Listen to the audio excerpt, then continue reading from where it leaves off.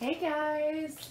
All right, so I've got a 20 by 20 inch canvas here. I have my cup. Um, I actually started layering the cup and then realized my video wasn't even on, so now I'm on. Um, I'm using some Paradise Blue by Art Minds. A Brushed Metallics Copper.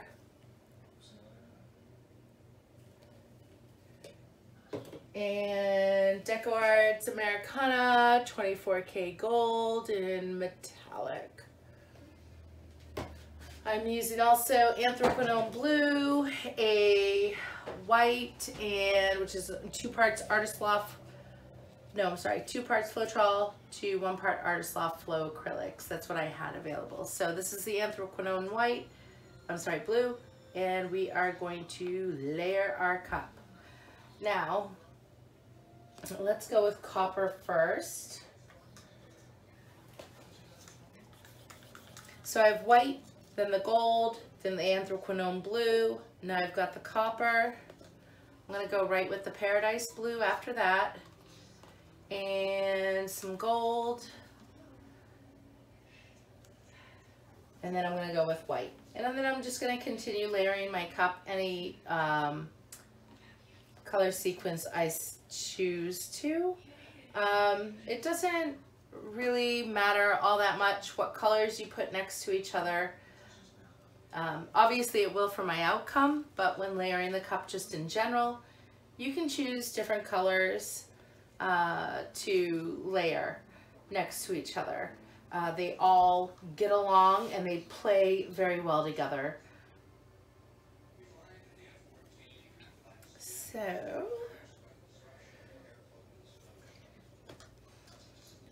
we're just going along here.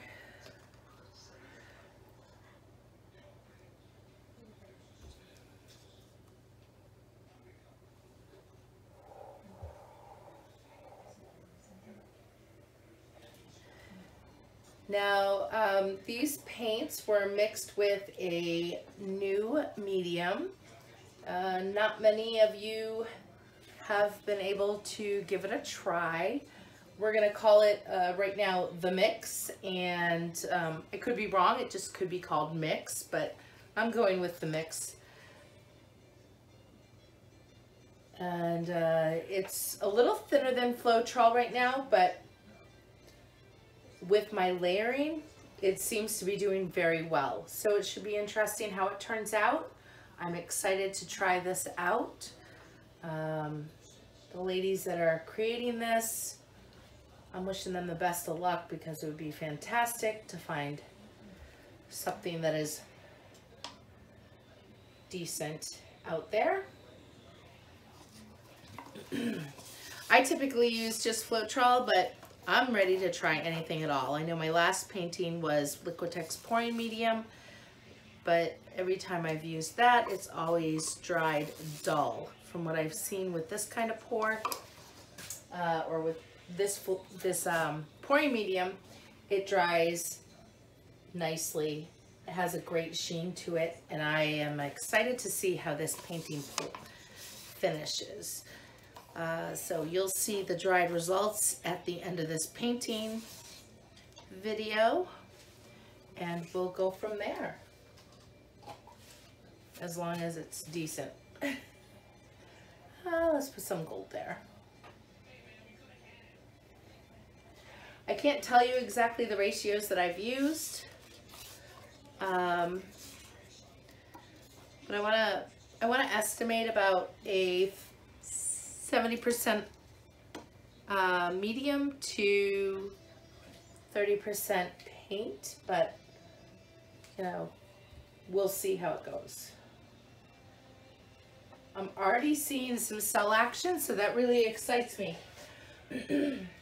I use the DecoArt Extreme Sheen paints. The gold that I use today is not Extreme Sheen, it's their basic 8 ounce uh, bottle of it it is different. Um, the, the 24K Extreme Sheen is completely different um, in a sense to this paint. This paint is a little thicker. but it doesn't dry as shiny and sparkly as the 24K Extreme Sheen.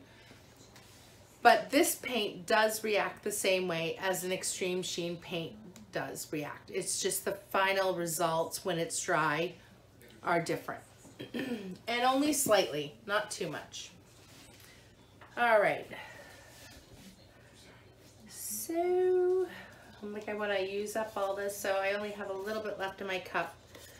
What I'm going to do is just put it right onto the canvas because I don't want to waste any.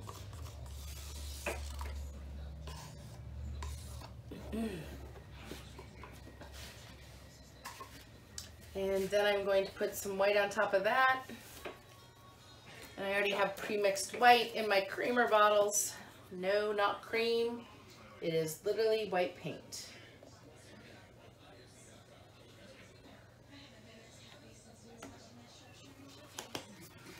All right, so that right there, I am just moving the paint slightly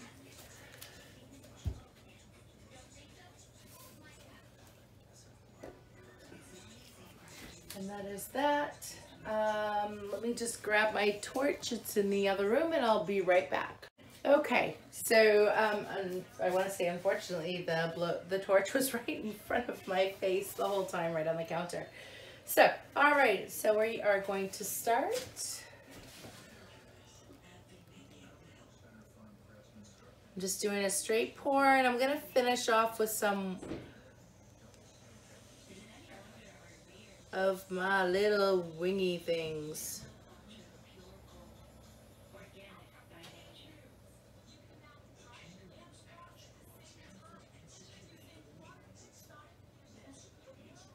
We're just gonna finish up here.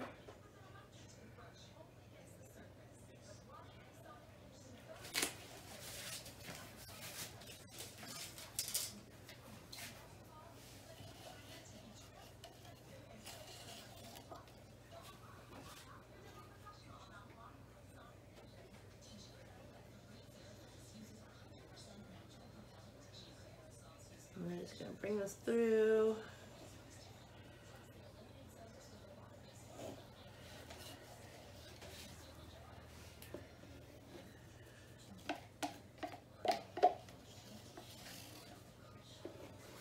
All right.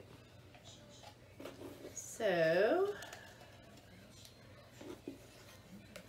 I sort of poured that a little fast, but let's see what comes about it.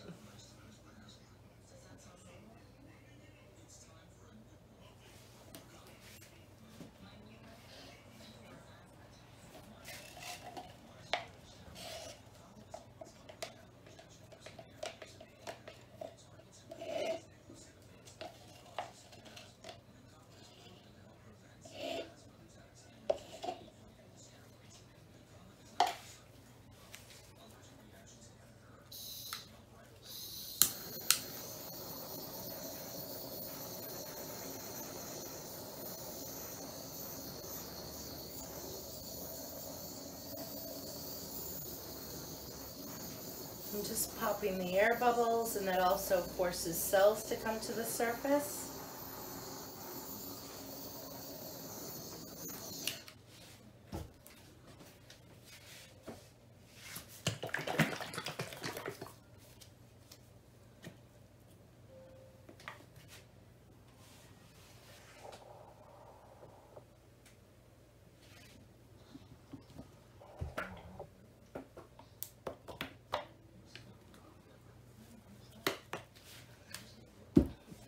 All right.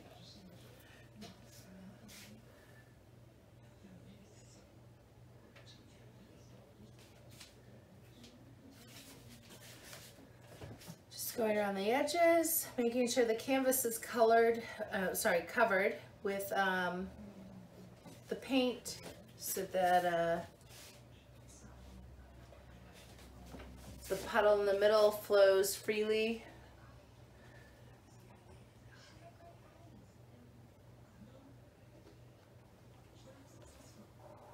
All right. I really love what's going on here.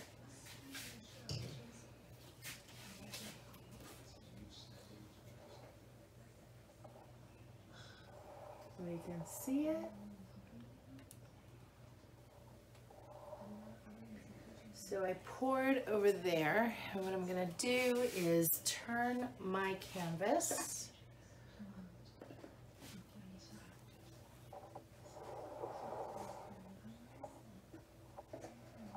All right, so I, I use um, plastic cups to hold my paintings up.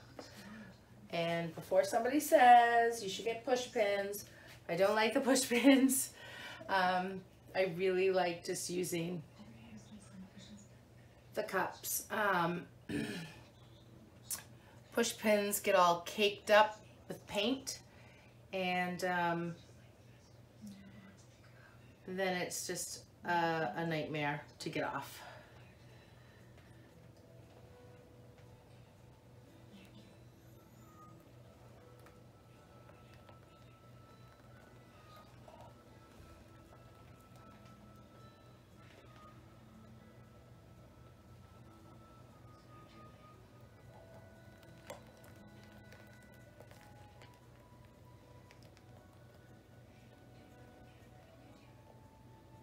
We'll see how this goes.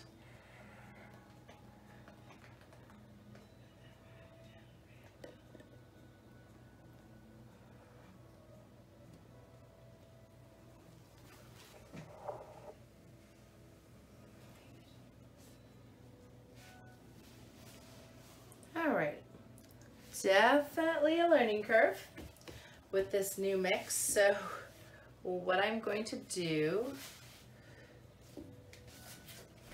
is layer another cup with different paint that I have that's left over and uh, we'll see how we do from there.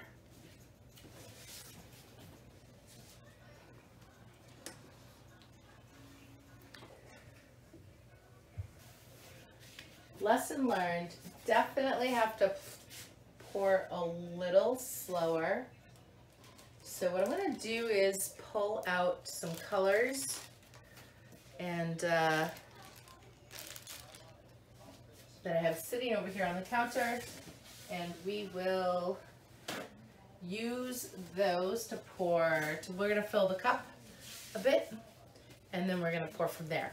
So I will be right back with you guys and uh, we'll go from there. Okay I'm back and I threw some paint on there that I really didn't have to pour on there but I did anyways I'm just getting rid of some leftover paints.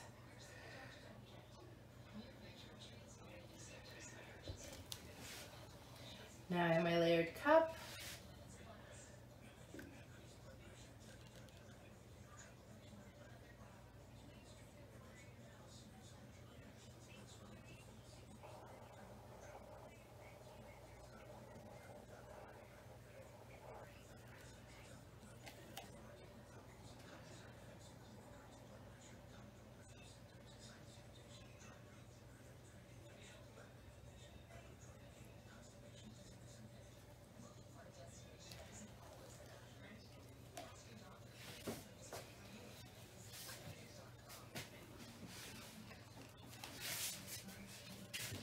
Actually gonna add a little more white to the cup.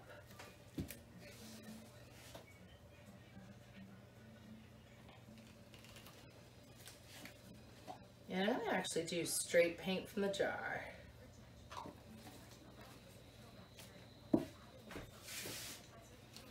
We've got that to the side.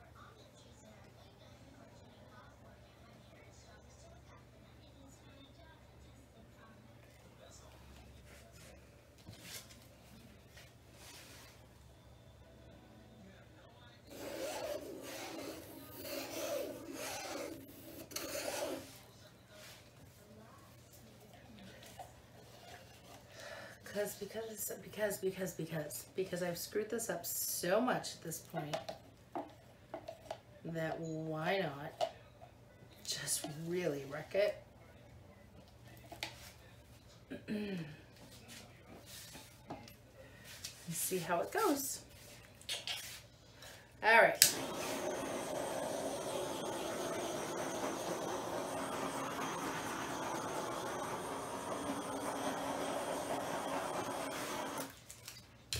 It's all heated up. Now, what I'm to do, because I want to save this side more than anything, because it's got the prettiest parts, is go to those edges first. Y'all might think I'm crazy, but this one turned out awesome after the fact. I guess I had to mess it up twice to really get some kind of composition. Oh, I love it.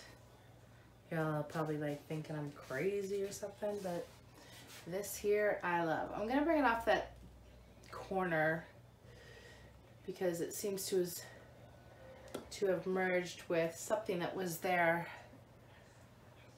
before and oh my god. All right let me turn this this way because this piece is amazing.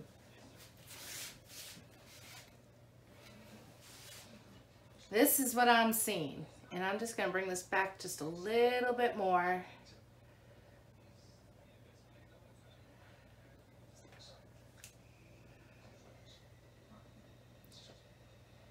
Oh, it's got this really cool little area of lacing that I've never experienced with a pour, but okay. Let me take off my gloves. We're gonna bring you guys in for a uh, close-up because this piece is awesome. Okay, so this is where I ended and this is where it's gonna stay. I love this piece. The metallic, this is all metallic in here. Um, and then I have some gold and some bits coming up through the gold. I love this piece. This piece is so fantastic. And I'm so glad I poured over it. Um, I'm definitely going to try the mix again um, with a more um, slower process of um, pouring. I sort of rushed that. I quite possibly could have been very excited, but this piece is has turned out amazing and I'm very happy for it. And I am like really looking forward to how it dries also um, with that new medium in there. I love that area. So pretty. Anywho, all right, guys. Thanks so much for watching. I hope you have a wonderful night. Check out my Etsy shop. Have a great day.